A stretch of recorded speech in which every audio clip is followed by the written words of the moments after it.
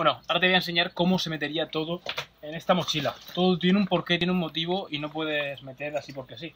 Eh, normalmente, cuando vamos a hacer unas travesías, tratamos siempre de meter cosas importantes. Lo más pesado, pegado siempre a la espalda.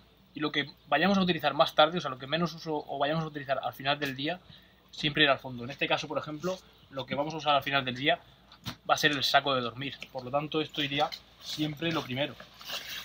Lo metemos al fondo del todo para evitar que nos ocupe un espacio innecesario arriba y no tener que estar sacando y metiendo cada vez que lo tenemos que, tenemos que coger otras cosas que son más accesibles. ¿vale? ¿Por qué continuaríamos? Pues yo en mi caso voy a meter la bandera, que va a ser también algo que voy a sacar mmm, seguramente prácticamente mitad del viaje, casi al final. Entonces es algo que voy a usar muy poco. ¿vale? Hace calor, por lo tanto seguramente la ropa, no, esta no tenga que utilizarla prácticamente. Seguramente muchos diréis, sí, pues la ropa hay que estar, tiene que estar arriba para sacar, poner, quitar. Ya, pero es que va a haber una media de 35 grados de temperatura, o sea que esto prácticamente no lo voy a necesitar eh, en todo el viaje. Eh, que lo más seguro es que ni, salga del fondo. Seguramente saldrá más el saco que esto. Así que también lo voy a meter al fondo. Voy a meter aquí, en este lado, y el cortavientos casi que más de lo mismo. Luego, en un momento dado que vea que el tiempo cambia, que hay algo así, un día que va a hacer más frío, que puede ser que necesite un cortavientos por el viento, lo dudo mucho, pero ya me lo pasaría a la mochila que ya. Esto digamos que es para empaquetar para el viaje, ¿de acuerdo? Pero esto no lo voy a utilizar en el, en el vuelo, ni cuando llegue a Marrakech, ni nada por el estilo. Así que al fondo. El pantalón largo va detrás, ¿vale? Mirad, voy a hacer ya espacio, bastones de trekking, esto tiene que ir fracturado, el equipaje, así que para que me cojan y para no tener problemas, los voy a desmontar, los voy a poner así, uno con otro, y los voy a meter en una orilla de la mochila. Me voy a asegurar que, de que lleguen hasta el final así me cogen aquí perfectamente espero no perder ninguna pieza me cogen aquí y yo puedo ya seguir metiendo cosas sin ningún problema ¿de acuerdo? vale ¿qué voy a meter después? pues mira voy a meter las camisetas las camisetas que mirad lo que he hecho ha sido mirad las he puesto todas una sobre otra ¿vale? Una, dos, tres y cuatro camisetas y cinco por ahí abajo. ¿Vale? Cinco camisetas y ahora las cojo y las doblo todas juntas. ¿Vale? Doblo todas y incluso lo puedo hacer así. Y aquí tengo las cinco camisetas. Vale, voy a meter el bañador, los pantalones de trekking cortos, calzoncillos a un lado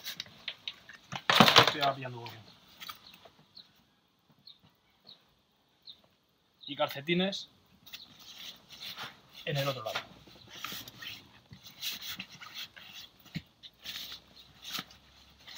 Esto si queréis tenerlo mejor seleccionado más apartado que vamos a un sitio de secano. Si vais a un sitio un poquito más húmedo o vais en otra época del año eh, yo aconsejo también separarlos en bolsas, ¿vale? Metéis cada calzoncillo en un sitio, eh, calcetines en otro, camisetas por un lado, pantalones por otro. Así lo vais a tener todo más accesible, mucho más cómodo para meter, sacar y vais a evitar que se moje, ¿de acuerdo? Si os abre una bolsa, una botella de agua o lo que sea, ¿vale? Así vais a evitar muchísimos problemas, ¿de acuerdo? Eh, el botiquín, lo ideal es que vaya protegido, ¿de acuerdo? Así que yo lo voy a meter, pues aquí entre medio me ha quedado hueco, ¿vale? Y lo voy a meter justo aquí, ¿vale? Sitio perfecto. Vale. Voy a poner la toalla justo encima del botiquín.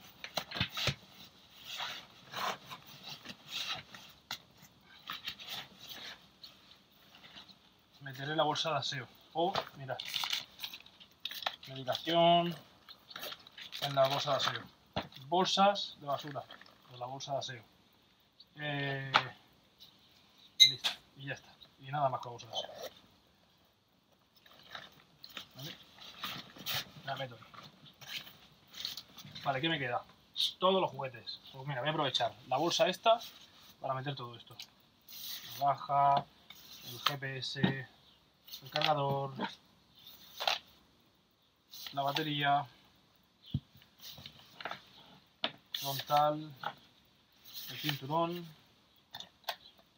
el kit de supervivencia y ya está, lo estoy de contar. Cierro todo y a la mochila. Bien, documentación bien plegadita aquí, aunque esto contigo siempre, ¿vale? Esta documentación siempre contigo. Yo ahora me voy de Murcia a Madrid, así que de momento le voy a llevar la mochila grande. Pero cuando pille el avión, me la meto en la mochila pequeña, que va a ser esa la que lleve en cabina. Y esta a facturar. ¿Vale? Y el agua. Gafas de sol y cantimplora.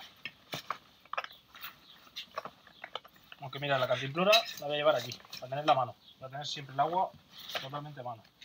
Y el gorrito al otro lado.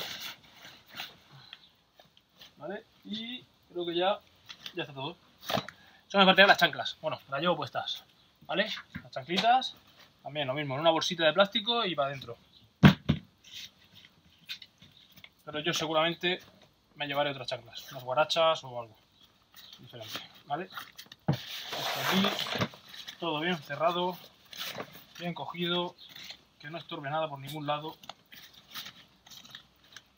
cerramos aquí. Vale.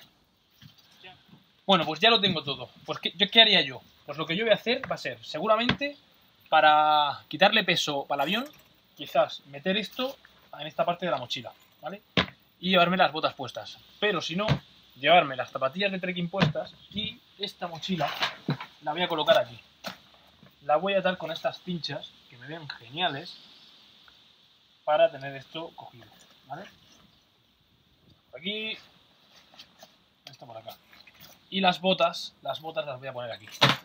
Yo seguramente me acabaré yendo así. Cogeré aquí. Pillaré aquí las botas. Bien cogidas. Esto ya no se escapa de aquí. Vale, estas me las pongo. Las chanclas irán dentro de la mochila y aquí ya lo llevo todo montado. ¿eh? Como veis, todo me cabe, todo práctico, todo fácil de llevar, peso razonable. ¿Vale? Esto no sé cuánto pesará, pero vamos, está, está muy bien. ¿Veis? Y así queda todo en uno. ¿De acuerdo? Hacer un viaje de montaña está genial. Eh, nada, que espero que os haya gustado. Si os ha gustado, pues nada, suscribiros, seguirme, todas esas cosas que siempre dicen los youtubers. Venga, un fuerte abrazo. Hasta luego.